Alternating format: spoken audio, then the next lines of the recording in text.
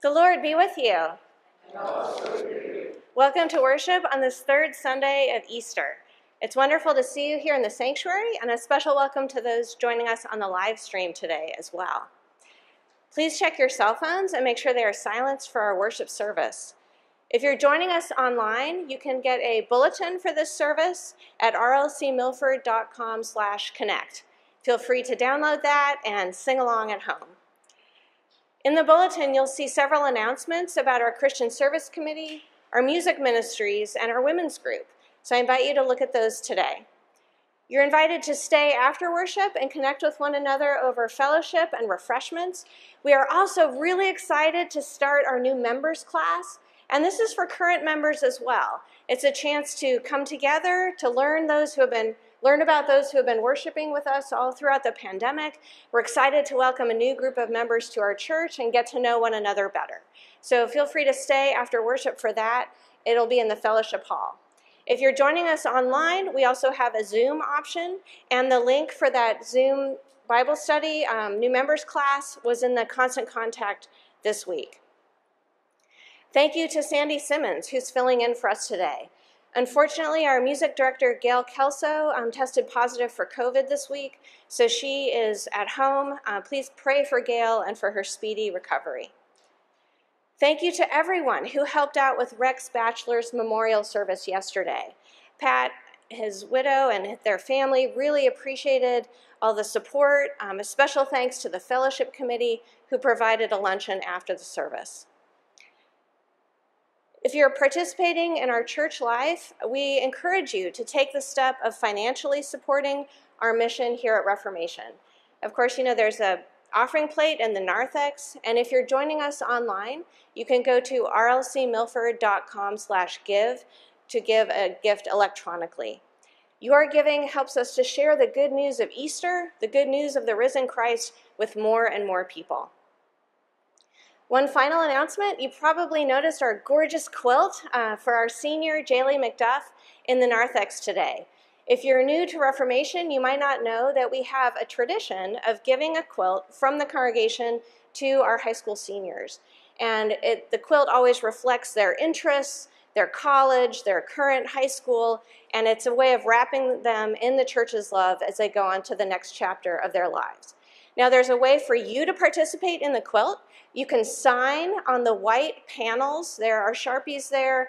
Even if you don't know Jaylee McDuff, please sign it and wish her well. You can share a favorite Bible verse or a blessing, and she will love receiving those and having those with her as she goes to college and beyond. So do take a moment and sign the quilt, please, after worship today. With that, we'll begin our service with the prelude.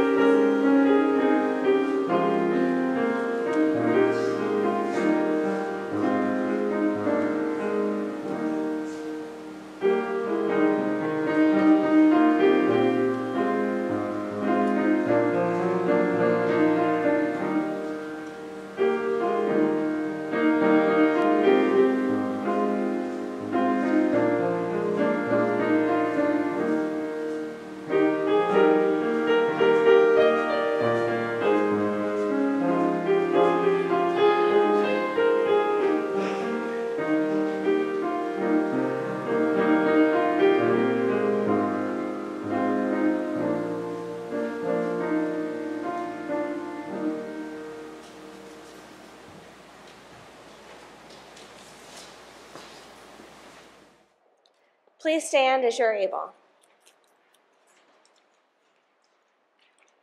We gather in the name of the God of life and love and hope, the Father, the Son, and the Holy Spirit.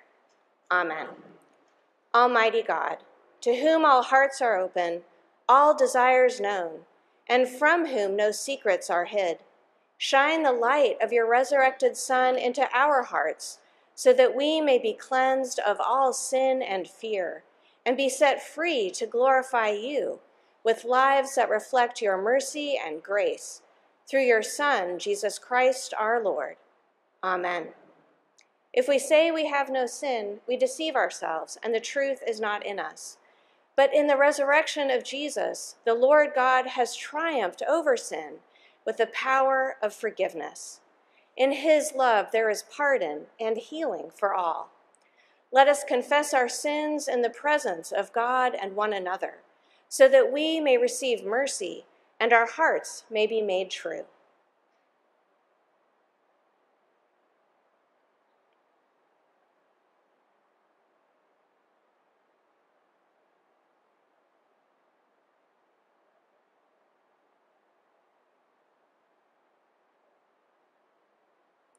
Most merciful God, we confess that we have sinned against you in thought, word, and deed, by what we have done and by what we have left undone. We have not loved you with our whole heart. We have not loved our neighbors as ourselves. For the sake of your Son, Jesus Christ, have mercy on us. Forgive us, renew us, and lead us, so that we may delight in your will and walk in your ways, to the glory of your holy name, now and forever. Amen. The Lord Jesus Christ died and rose again to set creation free from sin and death. He is the Lord of life and the giver of hope. His love triumphs over everything that would separate us from God or one another. And so, as a called and ordained minister of the Church of Christ, and by his authority, I therefore declare to you the entire forgiveness of all your sins, in the name of the Father, and the Son, and the Holy Spirit. Amen.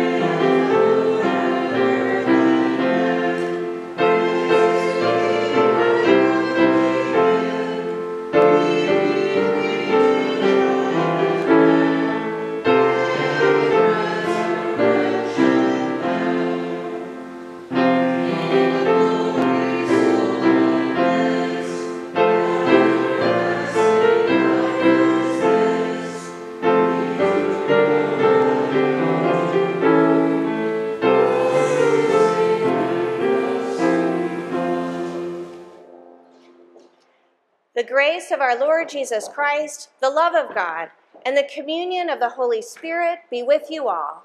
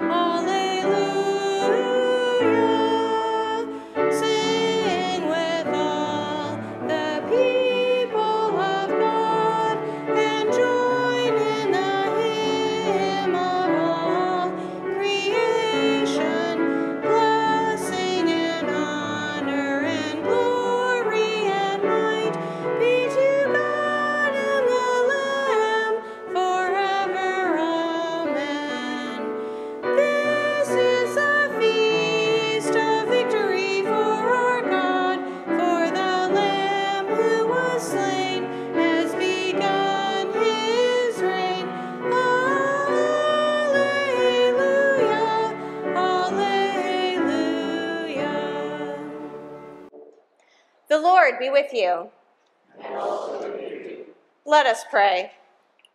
Almighty God, as we continue to celebrate the resurrection of your Son, open our eyes to see his presence among us. Open our hearts to receive his forgiveness, grace, and love. Fill us with the hope and joy that you so abundantly offer, and show us how to follow our risen Lord all of our days. Through the same Jesus Christ, our Savior, who lives and reigns with you and the Holy Spirit, one God, now and forever. Amen. You may be seated, and we continue with the readings.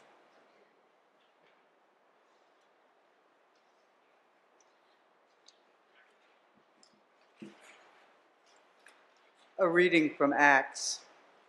Meanwhile, Saul, still breathing threats and murder against the disciples of the Lord, went to the high priest and asked him for letters to the synagogues at Damascus, so that if he found any who belonged to the way, men or women, he might bring them bound to, as, to Jerusalem. Now, as he was going along and approaching Damascus, suddenly a light from heaven flashed around him.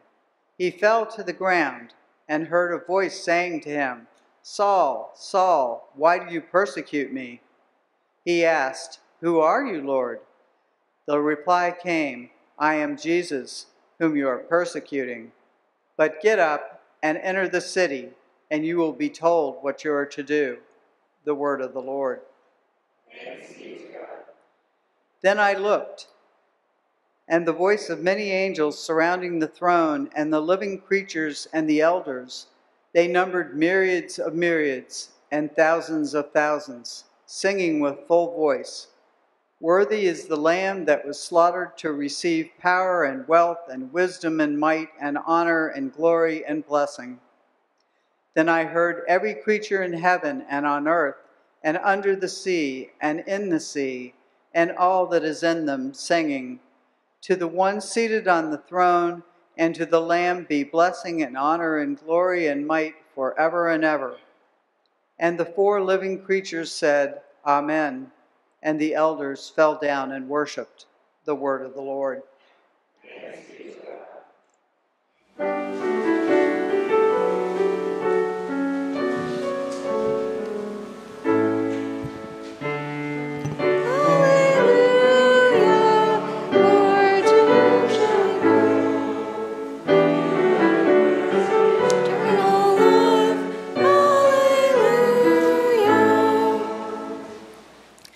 Holy Gospel according to St. John, the 21st chapter.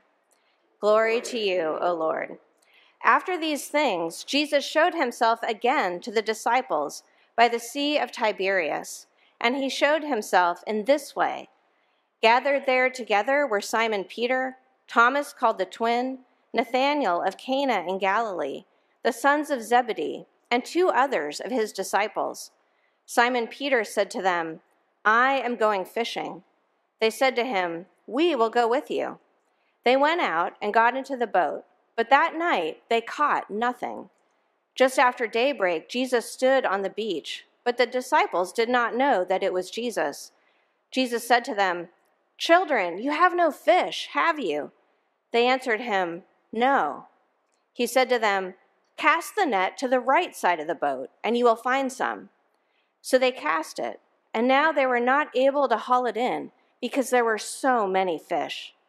That disciple whom Jesus loved said to Peter, It is the Lord. When Simon Peter heard that it was the Lord, he put on some clothes, for he was naked, and jumped into the sea. But the other disciples came in the boat, dragging the net full of fish, for they were not far from the land, only about a hundred yards off. When they had gone ashore, they saw a charcoal fire there with fish on it and bread. Jesus said to them, Bring some of the fish that you have just caught. So Simon Peter went aboard and hauled the net ashore, full of large fish, a 153 of them. And though there were so many, the net was not torn. Jesus said to them, Come and have breakfast. Now none of the disciples dared to ask him, Who are you? because they knew it was the Lord. Jesus came and took the bread and gave it to them and did the same with the fish. This was now the third time that Jesus appeared to the disciples after he was raised from the dead. When they had finished breakfast, Jesus said to Simon Peter, Simon, son of John, do you love me more than these? He said to him, Yes, Lord, you know that I love you. Jesus said to him, Feed my lambs. A second time he said to him, Simon, son of John, do you love me? He said to him, Yes, Lord, you know that I love you. Jesus said to him, Tend my sheep. He said to him the third time, Simon, son of John, do you love me? Peter felt hurt because he said to him the third time, Do you love me? And he said to him, Lord, you know everything. You know that I love you. Jesus said to him, Feed my sheep. Very truly, I tell you, when you were younger, you used to fasten your own belt to go and do where, wherever you wished. But when you grow old, you will stretch out your hands, and someone else will fasten a belt around you and take you where you do not wish to go. He said this to indicate the kind of death by which he would glorify God. After this, he said to him, Follow me. The gospel of the Lord. Praise to you, O Christ. You may be seated. Grace to you and peace from God our Father and from our Lord and Savior, Jesus Christ. Amen. It's a quiet morning. The sun just rose. The sea is calm and still. Imagine that we're sitting there beside the water on that peaceful morning with the disciples and with Jesus. Listen to the water lapping against the shore. Breathe in the scent of the fire Picture the disciples sitting in a circle.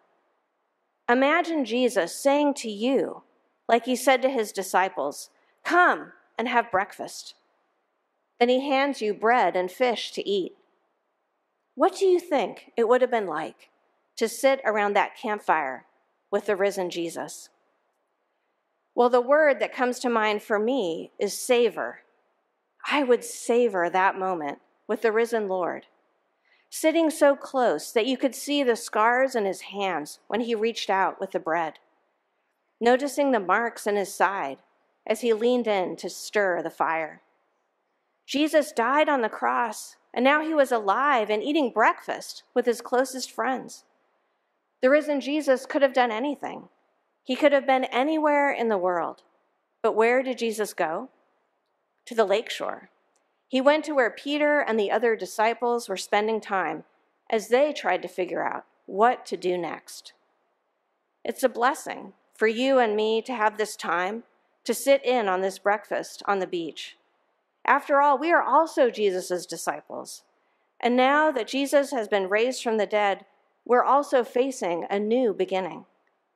Let's savor this time sitting around the fire with Jesus so we can hear our risen Lord's message to us.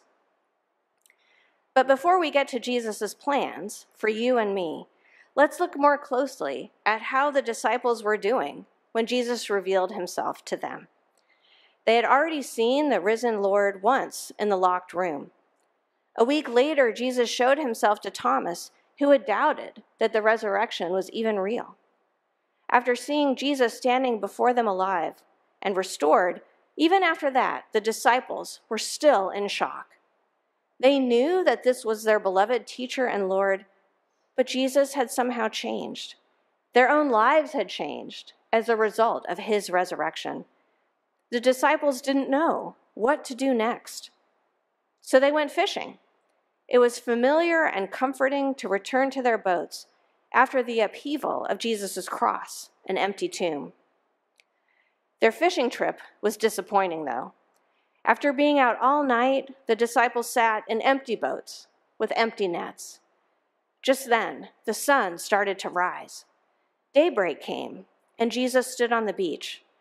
But they didn't know yet that it was him.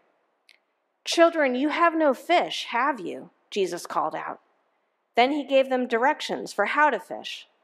They obeyed, and suddenly, to their surprise, the nets were filled with an abundant catch. In this moment, when darkness was turning into morning, when Jesus' advice The empty net started overflowing with fish. In this moment, one of Jesus' disciples realized who he was. He cried out, It is the Lord. Peter was so excited he jumped into the water and swam back to shore. The others returned in the boat, weighed down by that great catch. Jesus' appearance on the beach, the amazing catch of fish, and the invitation to breakfast, all of that would have been enough to lift the disciples' spirits. The risen Jesus was back with them. He was feeding them again with fish and bread. They got to have another meal together and enjoy his fellowship. All of that was wonderful, but it wasn't everything that Jesus had planned for them that morning. He still had unfinished business with Peter. So after they had finished breakfast, Jesus turned his attention to his chief disciple. Back on the night of the Last Supper, as you recall, Peter had sworn he would lay down his life for his Lord. But just as Jesus predicted, when he was arrested and put on trial, Peter panicked and he denied him three times instead. After this breakfast on the beach, Jesus asked Peter a question Simon, son of John, do you love me more than these? Peter didn't hesitate. Yes, Lord, you know that I love you. Then Jesus asked him two more times if Peter loved him, and both times he answered, Yes, you know that I love you. With each one of these questions, Jesus drew Peter back into their relationship. Each denial was canceled out by Peter's word of love. Jesus showed that he forgave his friend for abandoning him. Jesus reassured Peter that he still loved him as a gift of grace. This reconciliation was important for Peter's well being, of course, but it was about more than restoring the status quo of their relationship. Did you notice how Jesus responded each time Peter said, Yes, Lord, you know that I love you? Jesus said the same thing in three different ways Feed my lambs, tend my sheep, feed my sheep. The reconciliation between Jesus and Peter was twofold. Peter confessed his love, and then Jesus forgave Peter and gave him a new charge and a new mission. Jesus offers this dual gift of forgiveness and a new calling to you and me today as well. We also have been reconciled to our Lord Jesus. On the cross, he took on our sin and our denials, our betrayals and our disloyalty. In exchange, Jesus gave us forgiveness and redemption and new life and eternal life. Jesus is alive, and we have been set free from sin and death forever. In, this, in these weeks after Easter, it's natural for us to wonder so, what happens next? What do we do with this great news that Jesus has been raised? How has this changed us? What does this mean for us as we live out our days? To answer those questions, let's put ourselves back on that beach. Breathe in the morning air, the smoke of the fire, and the scent of the breakfast Jesus made for you. Feel the warmth of the rising sun on your back. Pause and savor this moment with our crucified and risen Lord. His last words to Peter are words for all of us to live by. They're not new words, but now that Jesus is alive, they are filled with new meaning. Jesus' words to Peter and to you and me are Follow me. In the light of the hope and freedom of Easter, how do you sense Jesus calling you to follow him? How is he leading you to take action, feed his lambs, and tend his sheep? You might bring in clothes for the Christian Service Committee's collection that's starting today for people in our community. You might follow Jesus by inviting your friends and family to our vacation Bible school. You can follow your risen Lord by participating in our new members class and growing in your faith here at Reformation. You can also follow Jesus by reaching out to a friend that you haven't seen in a while to reconnect. You can follow Jesus by offering a word of encouragement to a young person in our church family or in your own neighborhood. You all have many gifts and many different ways that Jesus is calling you to bless our church and our community with his love. As much as we would like to sit around the fire with Jesus forever, eventually the flames will die down, the sun will be high in the sky, and it will be time to go. As you rise from the circle of fire and fellowship to go and feed Jesus' sheep, remember that you carry the forgiveness and love of your risen Lord with you. The one who invited you to come and have breakfast empowers you to go and offer food to a hungry world. Go, follow Jesus, and share his abundant love and grace with everyone you meet. That is your Easter calling, and our faithful, loving, and life giving God will help you do it. Amen.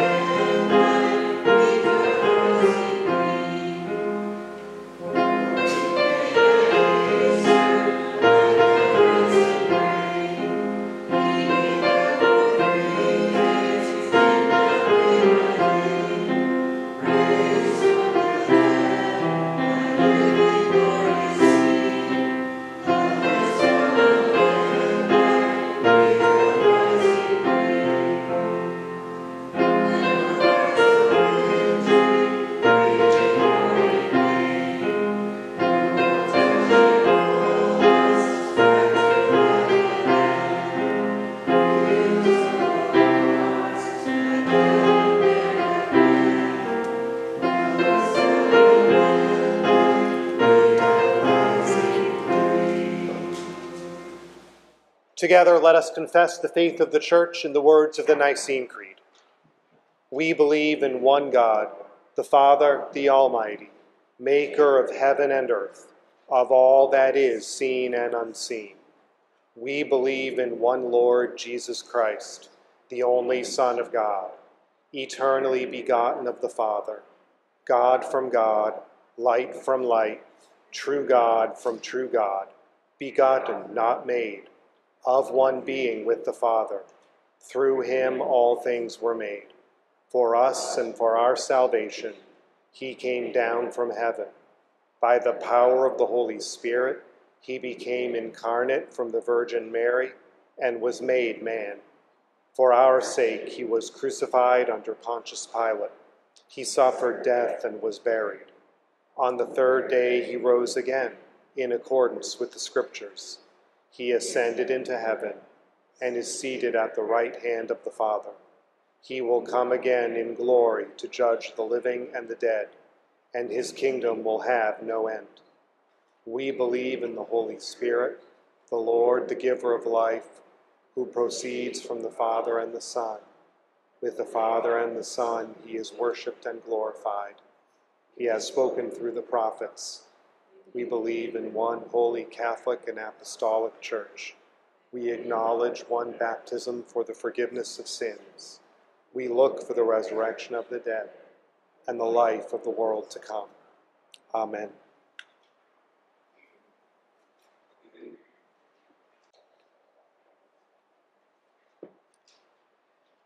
Rejoicing in the glory of Christ's resurrection, let us bring our needs and the needs of the world before the Lord who makes all things new. Almighty God, we praise you for the resurrection life and hope of Jesus. Help us pay attention to the ways Jesus calls us to serve our neighbors and offer the good news of your love with all people. Teach us to live out our faith as we follow Jesus. Show us how to use our gifts to bless others in his name. Lord, in your mercy. Hear our prayer. Lord Jesus, our world longs for your peace. As you have reconciled us to God through your cross and empty tomb, empower us to seek reconciliation with others. We ask for peace for all nations. We especially pray for the people of Ukraine. May the invasion cease. Deliver all men, women, and children of Ukraine from oppression and give them safety, comfort, and hope in the midst of struggle. Lord, in your mercy, Hear our prayer. O Holy Spirit, we thank you for blessing Reformation Lutheran Church with new friends in Christ. We pray for all those participating in our new members class. May they experience a strong sense of belonging as we share faith stories and learn more about each other. Empower all of us to be lifelong learners and strengthen us as disciples of Jesus and as a church community. Lord, in your mercy. Hear our prayer. Almighty God, heal those who are ill with COVID 19. Protect those suffering persecution, especially in China.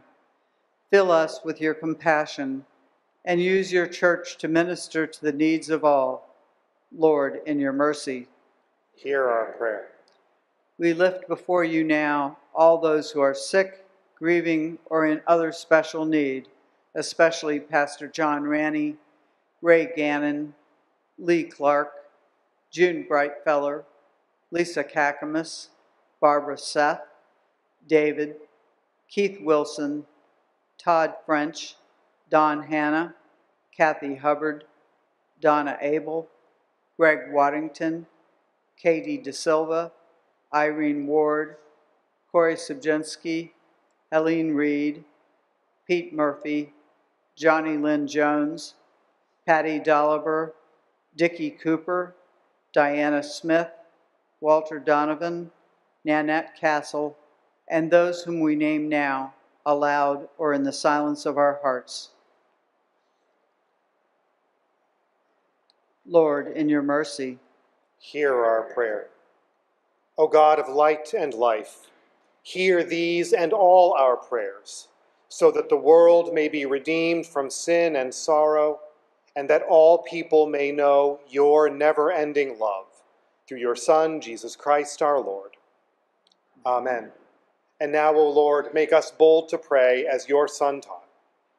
Our Father, who art in heaven, hallowed be thy name. Thy kingdom come, thy will be done, on earth as it is in heaven. Give us this day our daily bread, and forgive us our trespasses, as we forgive those who trespass against us. And lead us not into temptation, but deliver us from evil. For thine is the kingdom, and the power, and the glory, forever and ever. Amen. The peace of Christ be with you always. If you're watching on the live stream or the recorded service and there are others with you, you can pause now and share a sign of peace with those, those that you're watching with. And for those of us here in the sanctuary, we do ask you to please stay in your pews. But you can greet those in your household with a sign of God's peace and then turn and wave to others in the sanctuary.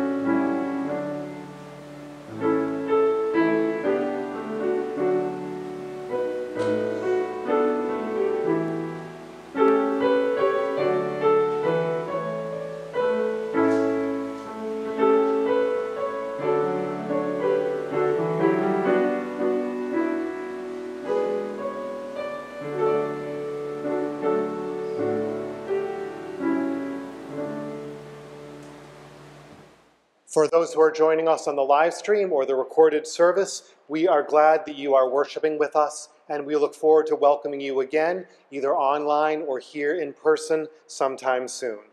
At this point, we are going to bring the live stream to an end, so we want to say goodbye to our online worshipers and bless you to walk always in the light of the resurrected Christ. Be at peace and serve the Lord wherever you are.